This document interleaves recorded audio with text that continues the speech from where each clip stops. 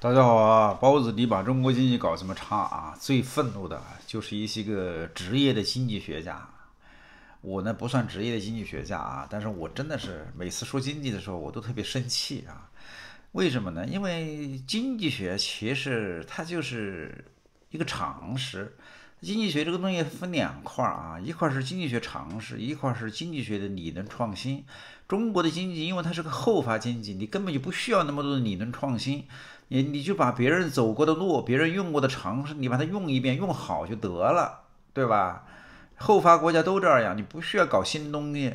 所以一旦这个经济学的常识在中国土工中国这个地方开始遭遇侮辱，我们这些个学了一点经济学的人就特别生气，就特别烦，然后就特别想想骂西包子，就这么一个情况。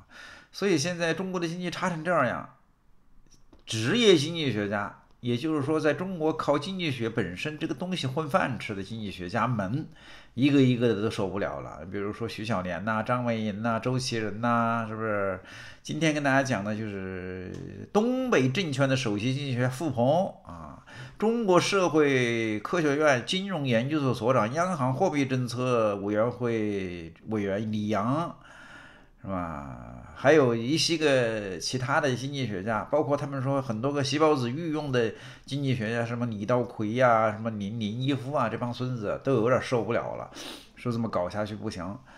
嗯，尤其是这个李阳，他是这个我我见过这个人啊，他是这个中国社科院金融研究所的所长，完了以后是央行货币政策委员会的委员，这个这个官僚这个官位没有没有几把刷子进不去的。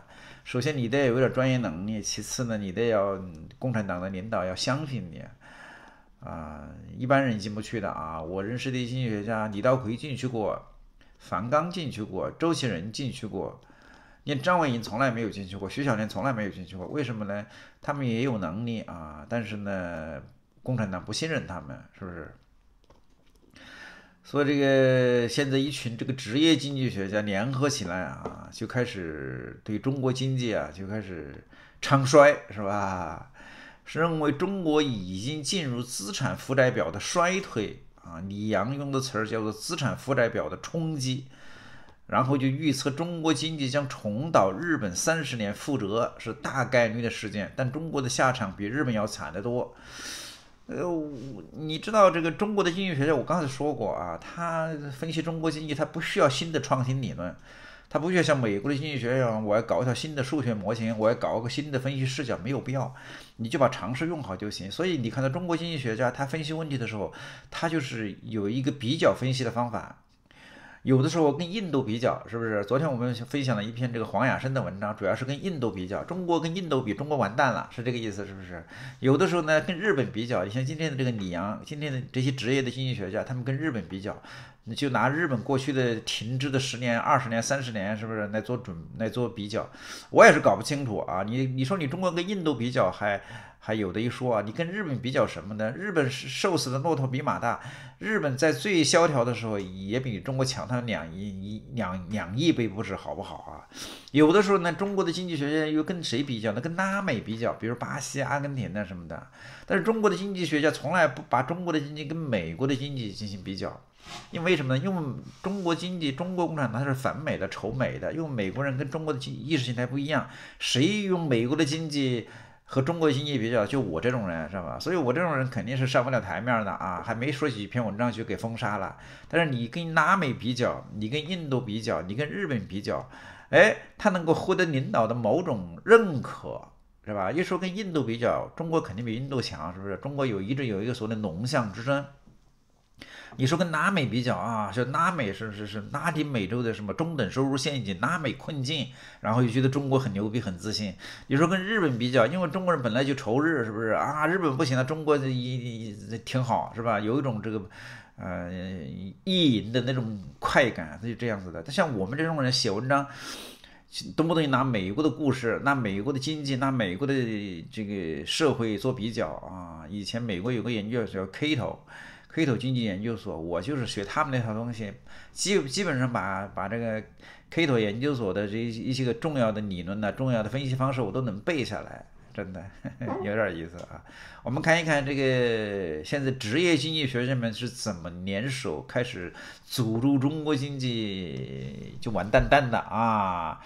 说这个陈志武老师啊，陈志武老师现在人到了香啊香港大学金融教育学院的啊，金融金融金融学院去了啊，当教授去了。他以前是耶鲁大学的终身教授，估计退休了还是怎么的啊，跑到香港去了啊，我也不知道这帮人在香港混什么的。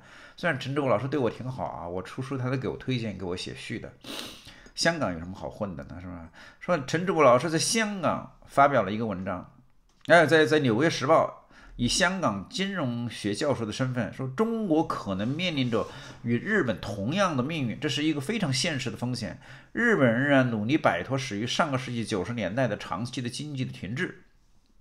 该国的问题在一定程度上是由房地产泡沫和金融部门的这个问题所造成的，这些都与中国目前的问题非常的相似。呃，这个中国可能面临着与日本同样的命运，但是中国会有更严重的问题。为什么呢？因为日本是一个发达经济体，中国是一个后发的，是一个是一个不怎么样的啊经济体。人家日本是先富后老，日本的创富能力很强，老龄化速度也比中国慢。也就是说，日本化解债务的能力呢，那强于中国。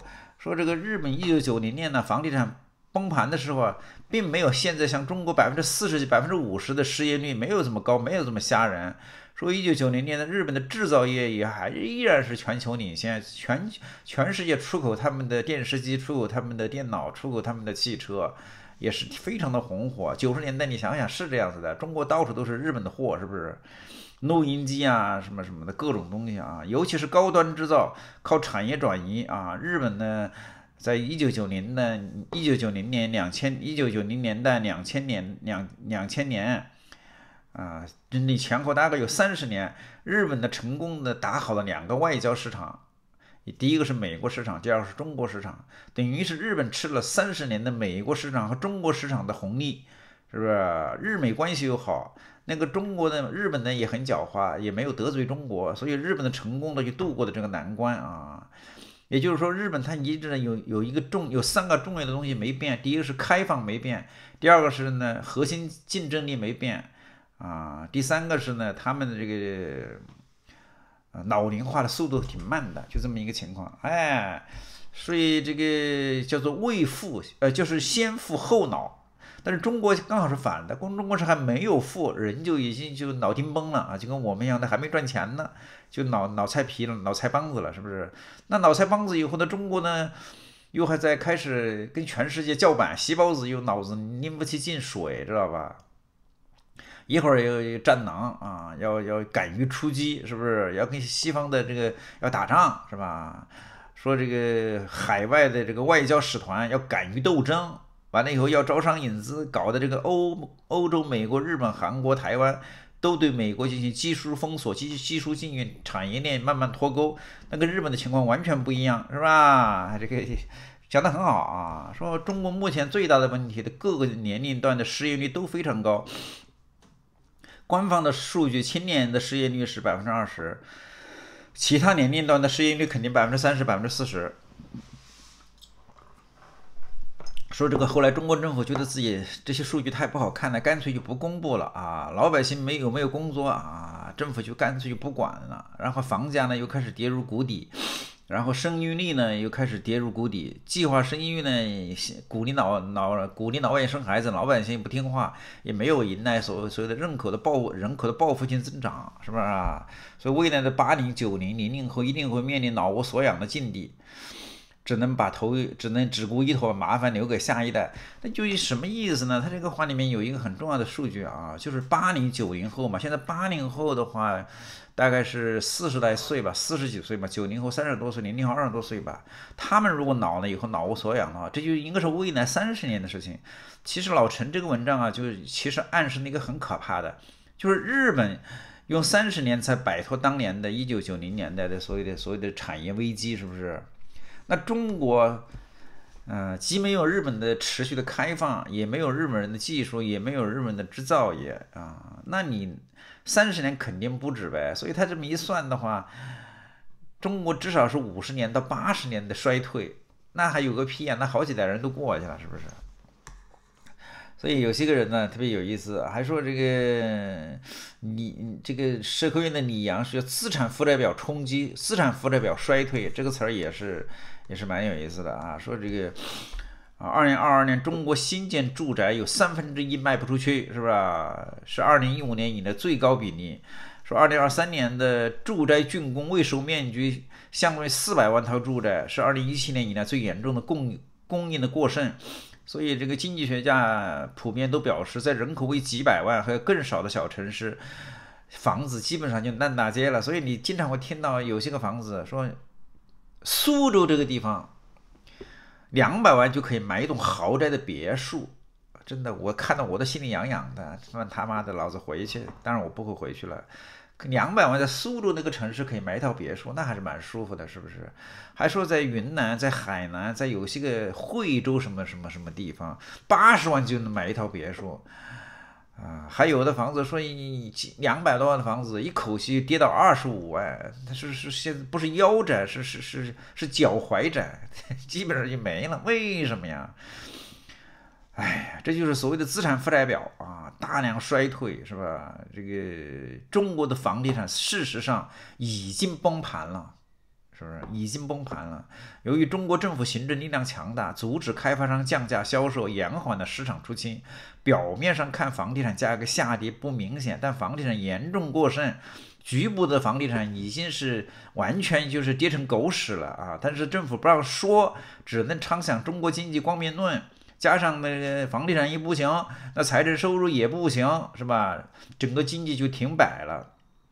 所以他们就讲说，联名就发表发表观点啊，中国房地产甚至人民币的汇率啊，肯定要严重的衰退啊！中国经济这一下去，没有五十年回不来。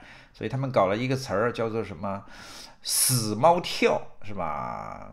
死猫跳就是什么意思呢？就是一个死猫突然跳起来了，是不是？这个东西你不要以为猫真的跳起来，可能有个什么外力的因素。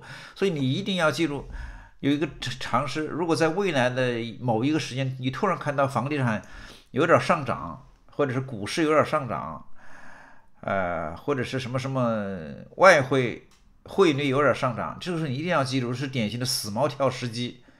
这时候你一定要抓住机会，赶紧离场，赶紧赶紧套现，赶紧走人，否则你完蛋了啊！因为死猫跳起来，它一定是政府把这个死猫抛向空中，它但是依然无法改变它是个死猫的事实，听懂了吗？谢谢。